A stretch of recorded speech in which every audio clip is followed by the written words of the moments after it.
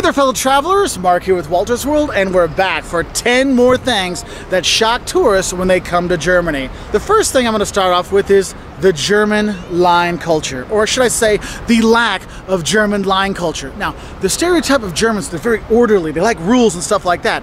Well, all that goes out, out the window when it comes to lines, which is funny because the second thing that shocks you when you are here is how much the Germans do like their rules and regulations. They do like to have rules, they do like to have regulations regulations. They want it all spelled out for them. If you work in business with Germans, you'll understand that with their contracts and stuff like that. As a tourist, what you'll see is there's going to be lots of forms and bureaucracy things you might need if you need to get a visa if you're coming here, if you're signing hotels, all these kind of things. And that kind of leads into the third thing that'll shock you when you come here are the kooky, funny little Germanisms that you do have when you are here. Now, I did my master's when I when I studied here. I lived here for a while and I did my degree here. And the funny thing is, is they don't clap when you do something. They knock. They like knock on the tables. You're like, what? So that's like the professional way to clap, is knocking on the tables, which is kind of interesting. Or, or here's one: if someone's crazy, they do this, and hey, you're stupid, is this? And there's just these little tiny German things out there. Now, going on with those Germanisms, there's one that's actually kind of a shockingly important one to know: is in Germany, if it doesn't have a stamp, it did not happen. You have to have a stamp, Stampfer, Stampfer, Stampfer, or a certificate, or a Schein, or a certificate, because for some reason Germans, unless there's a stamp, it didn't really happen. Now, the fifth thing that shocks tourists when they come here is Germans actually speak English pretty darn well. It's just that they prefer if you start in German and then they really open up and you'll be shocked how nice the Germans will be when you do start speaking a little bit of German. Yes, they will laugh at you, but then they'll just switch to English for you. So don't be shocked if that German you think doesn't speak any English actually speaks better English than probably me, okay? And that leads into the another shock that I kind of alluded to is the Germans actually are really nice, really helpful, wonderful people.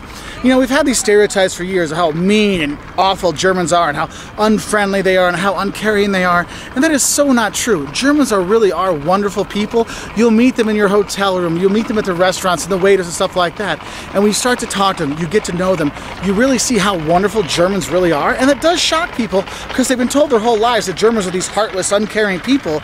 But honestly, if you have a German friend, you have a German friend for life, and it's amazing. Now, the seventh shock I have for you when you come to Germany is it's not just pork. Yes, I know pork is probably the most popular dish on food product kind of thing you will have here in Germany. But I'll be honest, if you come here, this is probably the best place in the world for vegetarian and vegan food that you can find. And the people here, they're really to help you find those things. So they'll have on the menu, oh, this is a vegetarian dish, and this has, you know, if this has uh, conservatives on there, if it has caffeine, they're really cool with helping those things out. So the eighth thing that'll shock you when you come here is the Pfand. If you're not sure what Pfand is, it's a deposit. When you're going, if you're coming here for Christmas markets and you get your your mug of Glühwein, it'll say, oh, the Glühwein is three, four, five euros or whatever, and then there'll be this word called Pfand next to it with another, I don't know, five euros on top of that. So your five euro Glühwein or hot wine actual cost you 10. The thing is, if you turn that cup back in, you get the Pfand back, the, the deposit back, that five euros. Now the ninth thing that's gonna shock you when you come to Germany is when you actually drive on the Autobahn. It is shockingly scary how fast people drive. And yes, they do have uh, the really fast lanes, stuff like that, but also sometimes people are shocked when they find out there actually are speed limits on the Autobahn. It's not open road, open season all the time. And the 10th thing that shocks tourists when they do come to Germany is the um, Freie Körperkultur, or the free body culture of Germany.